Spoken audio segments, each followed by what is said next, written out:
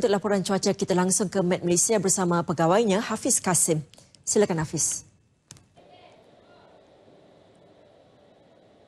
Terima kasih kepada rakan penyampai di Bilik Berita Angkasa Puri. Assalamualaikum warahmatullahi wabarakatuh dan salam hormat penonton sekalian.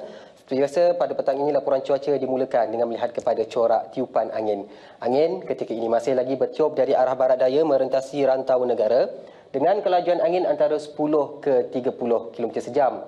Dengan kelajuan angin yang kurang signifikan kepada kawasan perairan, buat masa ini tiada sebarang amaran angin kencang dan juga laut yang bergelora dikeluarkan.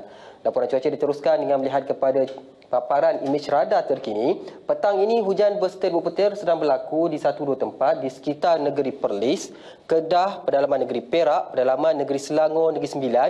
Begitu juga di satu dua tempat di negeri Terengganu, negeri Pahang, begitu juga di Timur Johor. Hujan yang sedang berlaku ini terutamanya untuk negeri Pahang dan juga negeri Terengganu ini dijangkakan boleh berterusan sehingga ke awal malam nanti.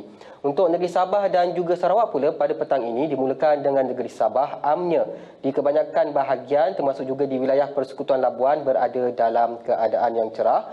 Hujan ketika ini lebih tertumpu di sekitar bahagian pedalaman. Hujan yang sedang berlaku ini dijangkakan semakin beransur-ansur ada sedikit masa lagi.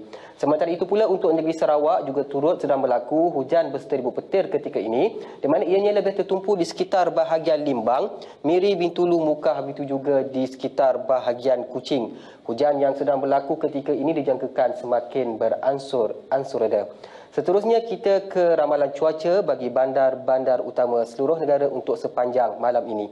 Sekian saja dahulu daripada saya Muhammad Hafiz bin Kasim langsung dari Jabatan Meteorologi Malaysia rakan cuaca anda.